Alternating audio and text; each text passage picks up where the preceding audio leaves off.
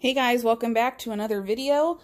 This is going to be the last game review that I will be uploading for a while. It's the last one that I've had to catch up on from previous games that I've already finished for the channel. I'm going to try to get both of them out this weekend, and then I will be caught up besides finishing The Evil Within. So, this is Resident Evil Village or Resident Evil 8, depending on how you like to say it. This game came out this year. Uh, I should be able to remember when, but I don't. But it had to have been close to the beginning of the year. I'm just not sure what month it was. But this was a really good game. And I was super stoked for the longest time before this game came out because there was a big gap, like three or four year gap between Resident Evil 7 and this one. So I'm curious to see, but granted, in that time gap, they did remake Resident Evil 2 and Resident Evil 3. So realistically, there's almost been a new Resident Evil game every year. But I've heard rumors that there's going to be a remake of Resident Evil 4, and then there's also supposedly going to be one more after this one. Like, this one is supposed to be a trilogy, so there's supposedly a Resident Evil 9 that's going to come out, but I would assume that's going to take another two or three years of development before that comes out. But I have heard something about a remake of Resident Evil 4. So I'm curious to see if that's going to happen, because of course, I will probably get it if there is a remake, just to see how it compares to the original. So anyway, let's get into this review. Once again, this is gameplay of mine. So technically, spoiler alert, but it's only the first 20 to 30 minutes of the game, so it doesn't spoil a lot for you guys if you have yet to play it. So, first category is interest value. The cover of the game is very simple. It depicts the title of the game at the bottom, the village part is really big and it is overhead the Resident Evil part, so that is really small. And the background is basically Chris's face. It's hard to tell unless you're familiar with the game that it is Chris, but the facing you, the left side of his face is human, while the right side of his face in the dark darker area looks almost like a werewolf type face. So this is a game that came out for the Xbox Series X, but you could also still get it for the One if you so desired, as well as PlayStation 5, PlayStation 4, I believe, and then PC, Steam, whatever have you. I don't think it's coming to Switch, but I'm not sure on that. The back of the case is also very simple. The top just shows a little bit of a horizon with a castle in the background. It says fear surrounds you. And then it has two pictures below that. It looks like one is the inside of a building, maybe like a mansion, and the other one is the face of a howling werewolf. And it says, Fight for survival in a village filled with unspeakable horrors and vicious creatures. Now,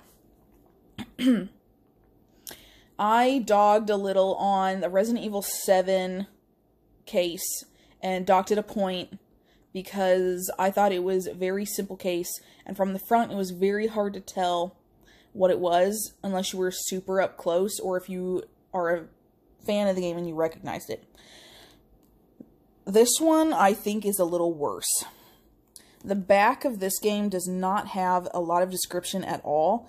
So, I mean, in my opinion, you have to be hiding under a rock to not know what the Resident Evil series is. It's graced the gaming industry since well before I was born. So, it is a fantastic series. Any gamer worth their salt knows what Resident Evil is. Even if they haven't played it, you should still know what it is. But unless some people, unless you're a fan of this, you may not recognize the cover because the Resident Evil title itself is so small and is underneath the village part of the title, which is pretty big. So, the one thing I don't like about that is I knew they did new things for Resident Evil 7 which then moved into Resident Evil 8. I do like that they changed the gameplay to first person and changed the story and things like that. However, I wish they wouldn't have done that to the case and the title. I think it should have been a little better. You could have maybe made it a little brighter, but from far away, all it looks like is a guy with a glowing eye and black surrounding him and the word village. You can't really see anything else. So, uh, for that, I had to score it less than the other Resident Evil. So, I had to give this one an 8 out of 10 just based on the case of interest value. Like I said, unless you are familiar with the universe of Resident Evil, reading the case or looking it over, you would not recognize it, nor would the title or description on the back really influence you to buy it, in my opinion. So, that's that. Moving on from there, I do want to make a quick note that this game does continue on from the end of Resident Evil 7. For those that did not know, it is the same main character, some of the same side characters, but it's different villains, different setting, and it's a couple years later. But it does continue on, which is different. Technically, you could say the other Resident Evils follow a timeline, which they do, but almost none of the characters or settings are the same. This is different to the series. These three games in particular, Resident Evil 7 and 8, which are already out, and then the future 9, are a set of three, a trilogy that all go together, whereas the rest of them are standalone games. Yes, you could probably play this game on its own, but if you haven't played Resident Evil 7, you will not understand a lot of what's going on in this one, so it is well recommended that you play 7 before this. Moving on, we're going to go to ease of, of control. Like the other Resident Evil 7 games, plus the remakes, the controls are very easy to learn and use, very similar to other survival shooting games like Call of Duty, Modern Warfare, things like that. It does allow you to change the button configuration in the main menu, and you could also change the color of the sights, which I think is very unique to this game. I don't remember being given that choice in some of the other ones. So if you don't know what I'm talking about, when you point down the barrel of a gun, in particular the pistol in this game, and it gives you the crosshairs, most of the time it's a white color. This game allows you to change the color, and you could have red, blue, green, white, and there might have been either an orange, maybe not, maybe it was just red.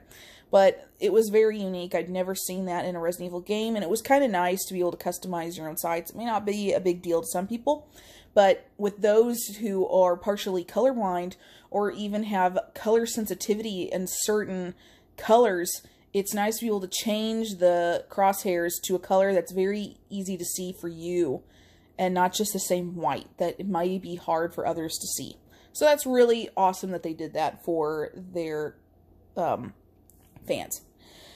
Now, back to the ease of control. It's very easy to learn the controls and they stay the same throughout the game. Very simple, not too many to learn, so therefore it earned a 10 out of 10. Graphics. The graphics, in my opinion, are absolutely phenomenal very next gen, which is what they were going for. Even if you don't get this game for the next gen consoles, so the Xbox Series X or the whatever the PlayStation one is, I can't think of it off the top of my head. Even if you don't get it for the next gen consoles and you play it on the older ones or even play it on Steam, I still think that the graphics are amazing and look really well, especially compared to Resident Evil 7. I thought Resident Evil 7 graphics were good. These are a leap and a bound ahead of that this is like the next series of gaming. Like you almost feel like if you're playing in a dark room by yourself, if you're playing with a headset even and you're right up there by the TV playing this or your computer or however you're playing this, you could almost feel like you're in the game itself, which is awesome without having the ability of having a um one of those virtual reality VR headsets it feels like you're in the game. So I really enjoyed that a lot. Everything is super crisp. The images are realistic. it definitely hit my expectations. I don't think there's any way anybody could critique badly on the graphics. I didn't see anything that was bad in any way. The lighting is also amazing. You can change that as well. If you like a darker game, you can do that. If you like a lighter game, you can do that. And changing the lighting definitely ups the scares if you so desire. So, for all that, I gave it a 10 out of 10. Freedom. The game does follow a set story, like most Resident Evils do, but there are other things that you can check out, and this one definitely had more freedom of gameplay than Resident Evil 7 did. Resident Evil 7, you had the bobbleheads, and you could look for other guns, but that was practically it. In this game, there are numerous places that you get to visit, huge areas of the map. It is uh, way more advanced than Resident Evil 7 was compared to map size. And in this one, you look for little goats as an achievement, but you also are on the hunt for lock picks, the same as Resident Evil 7, and also there are way more guns and extensions for guns that you can find throughout the game that you cannot purchase from the merchant, which is another thing that they added in the game is the merchant. So it gives you more things to do, such as upgrades for your weapons that you couldn't do before in Resident Evil 7. So they kind of brought back to me almost a mix of Resident Evil 7 and Resident Evil 4 where you had the merchant and could do upgrades and add-ons and customize your weapons and things like that. So I thought it was really good. So I gave it a 9 out of 10 for that category. Game story, it has a very thorough and interesting story, in my opinion. It can be played alone, as I stated before, but it makes much more sense if you play right after having played Resident Evil 7. However, this game did include a little trailer video of Resident Evil 7 and explained what happened in that one. So, therefore, you could skip that game, watch the little clip, and understand the background story and jump into this game and probably be fine. But of course, you know, it's better if you had played Resident Evil 7 before this. The story, in my opinion, for Resident Evil 8 is very unique. It has many different aspects, tons of twists and turns, and lots of characters that you get to meet that are very unique in their own way. I know everybody is obsessed with the Lady Dimitrescu, um, but my personal favorite was Heisenberg. But every character was unique, and I loved them all. Fantastic game. I gave it a 10 out of 10 for game story. Extras. The game has achievements like most games do, especially in game. There were extra weapons to find, as I stated, extra ways to craft ammunition. Um, there was the goat. And the end game is similar to some of the other Resident Evils, whereas if you achieved certain achievements while in game, then you got points at the end of the game that you could rack up and unlock other things. So you have to yourself unlock the gallery, unlock figurines, unlock videos, behind the scenes pictures, things like that. You have to use points to unlock. And a lot of the points are really easy to get from really easy achievements, such as um, one of them is craft like one item. And of course, it goes up to like craft 300 items. And depending on the difficulty of the achievement, determines the amount of points you get to use. Uh, other things you could use with your points were buying infinite ammo for guns that you have fully upgraded through the Duke, who is the merchant. Other ones were once you beat the game, it unlocked certain weapons that you could buy depending on which which difficulty of the game you completed. So that was a whole other thing because that influences you to replay the game in order to unlock these things. There also is the mercenaries was returned to this game. We haven't seen the mercenaries since Resident Evil 4 came out, and that was a huge hit was the mercenaries. So to be able to have the mercenaries return to Resident Evil 8 is a huge thing for me. I love the mercenaries. It is a whole other gameplay. So it's another thing that you can play besides the main story. On top of that, I have heard that there is possibly going to be a DLC released for this game. I have not heard anything else about a date or what it's going to be about. So I'm curious to see if that is rumor or not. Also, they came out with Re:Verse for this one, which is essentially the online game mode that came out when Resident Evil 7 came out, except it's supposed to be better, but they have had problems with it. It was supposed to be released when this game came out. It has yet to be released, and the last I heard, if I'm correct, is this online mode is not going to be ready till the end of the year or even beginning of next year, which is not good. I don't know what happened, but they got so far behind on that that it's not even going to be available, which I know a lot of people are upset about. But we have a DLC that may might be coming to look forward to, and the game of has tons of gameplay to have. So I mean, and they haven't gotten rid of the online version for Resident Evil 7, so you could continue to play that, I believe, until the new one comes out. So, in terms of extras, I gave it a 9 out of 10 realistically, I probably could have done a 10 out of 10, but I left it as a 9, as a lot of these extras are only end game and not during the game. Now, time to play. I spent over 12 hours in this game of normal gameplay. I took my time, I didn't rush, but neither did I go really slow. So the average is probably 10 hours around, depending on how you play. So as I've said before, it's one point per hour, so it got a 10 out of 10 score. Replayability. As I've previously stated, this game definitely has replayability, different difficulties to unlock. There's one that comes after Veteran or Hard or whichever it is called the Village of Shadows, which is supposedly really hard. Uh, there are other things to find. You can finish those achievements for points, as I stated. There's the mercenary mode. You can get new guns, unlimited weapons, faster times. There, it has a ton of different replayability options. So, therefore, it got a 10 out of 10 for that. The price, I pre-ordered it almost as soon as it came available. And the pre-order was 50 bucks and if you pre-ordered it you did get a few extras depending on the level of pre-order you did. I did the basic. So the first time you go to the duke i ended up getting a free lockpick a free health a couple a box of free ammo for my handgun and a box of free ammo for my shotgun as well as a charm to go on my shotgun i believe. It's either my shotgun or my handgun. So those were extra nice things that you could get if you pre-ordered ahead of time. If you didn't, then you didn't get them. It wasn't like they were necessary, but it was nice to have in a brand new game. With all the extras you could get, as long as the game was, its replayability, the DLC coming out, the online gameplay coming out, and the mercenaries, I definitely think this deserved a 10 out of 10 for price, and it was well worth the 50 bucks. Now, for my personal score, I absolutely love this game.